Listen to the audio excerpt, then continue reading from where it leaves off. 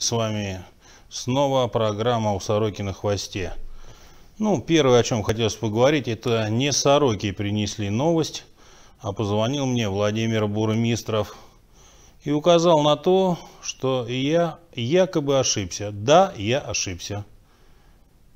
Приношу Владимиру Сергеевичу свои извинения.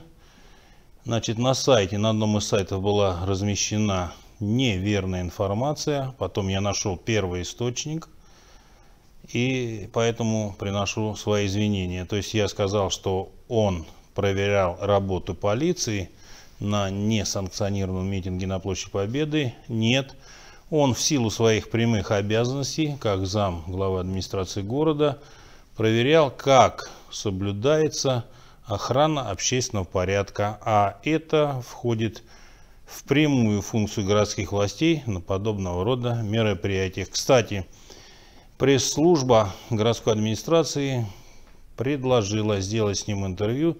Так что, уважаемые зрители мои, подписывайтесь на канал, если вам это интересно. Ставьте лайк, колокольчик жмите. И в своих комментариях, хотя бы вот под этой программой, напишите, какие вы хотите вопросы, чтобы я задал Владимиру Сергеевичу Бурмистрову. Ну, естественно, что у меня течет батарея, таких вопросов не будет. Я сразу предупреждаю, какие-то системные вопросы. У меня будет один. То, что я писал и в 2019 году, и в 2020 продолжаю, это связано с жизнью людей. Какой будет, вы посмотрите. Продолжаем нашу программу.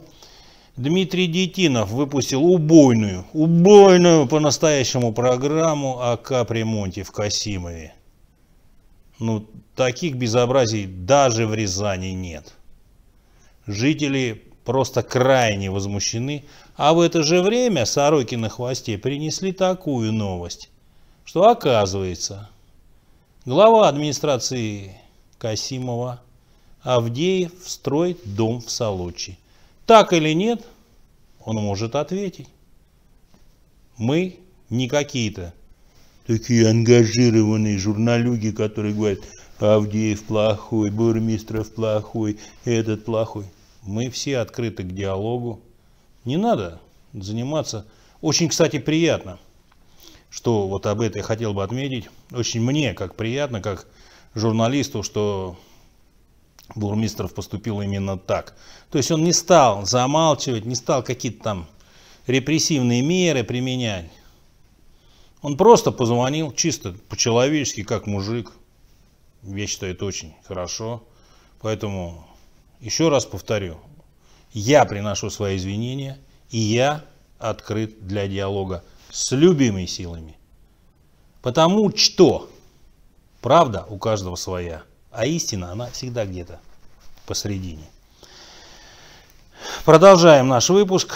Значит, э, зритель один написал все-таки, что возле его дома раздолбана, ну, буквально вот до такой степени раздолбана дорога, и в этом виноваты не городские власти, которые мы привыкли всегда так вот, это виноваты чиновники, это туда он конкретно говорит о том, что виноваты миксеры с бетоном строительной компании «Зеленый сад».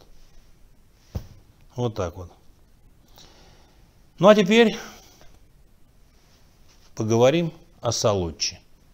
Средняя школа номер 32 сегодня мне позвонили и сказали, что четвероклассницу Варю, фамилия есть, искусали собаки.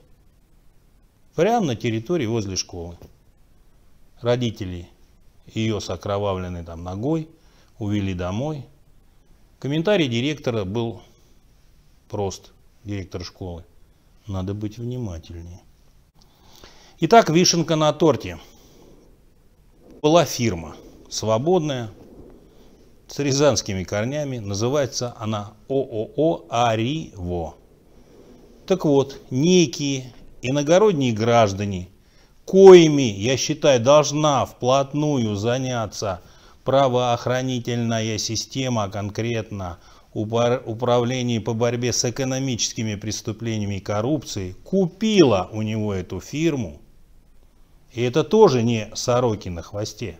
Купила эту фирму, получила большое количество подрядов от фонда капремонта, проработали где-то год, сами ничего не делали и уехали, пополнив свои кошельки на 10-15 миллионов. Это такая вишенка сегодня на торте. Всего доброго. Увидимся еще завтра. Дебютная программа «Параллели» с историком, доктором наук, профессором РГУ Юрием Гераськиным. Всего доброго.